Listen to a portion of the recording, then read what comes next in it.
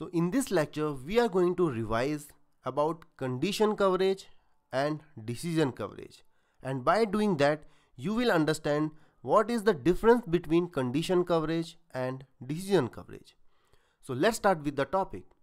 So you have already seen this particular example wherein if A and B as a whole is a decision whereas inside this decision there are two conditions A and B and individually they are called as atomic conditions.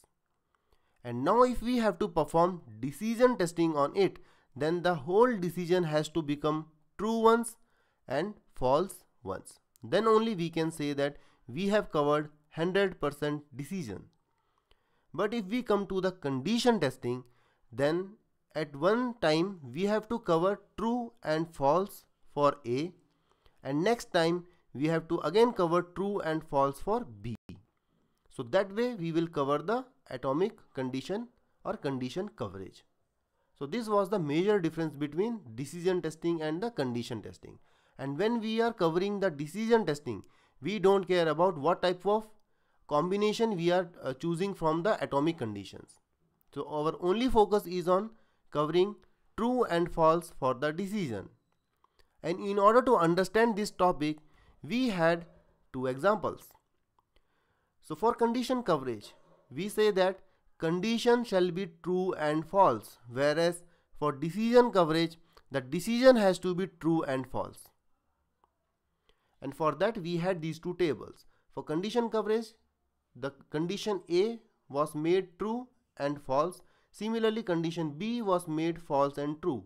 When we chose these two conditions that time our decision was always false and that is the reason we said 100% condition coverage do not cover 100% decision. And when we come to the decision coverage, here our main focus was to make A and B true ones and false ones. And in order to achieve this, we have selected these two combination because these two are the simple combination. For A true and for B true, for A false and for B also false.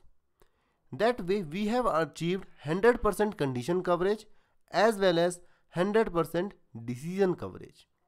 But if I take other two combination, for example, I will take the first combination this one, I will not take this combination and then I will take the last combination. So now concentrate on first combination and the third combination.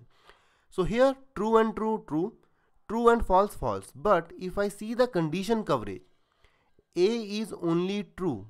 A never become false. So that is the reason we have not covered 100% condition coverage. For B we have covered because this is true here and this is false here. So now I hope you have understood 100% decision coverage when we do we cannot say that we have done 100% condition coverage. So vice versa it is not possible. So that is it from this particular topic and I will see you with the next video. Until then happy testing.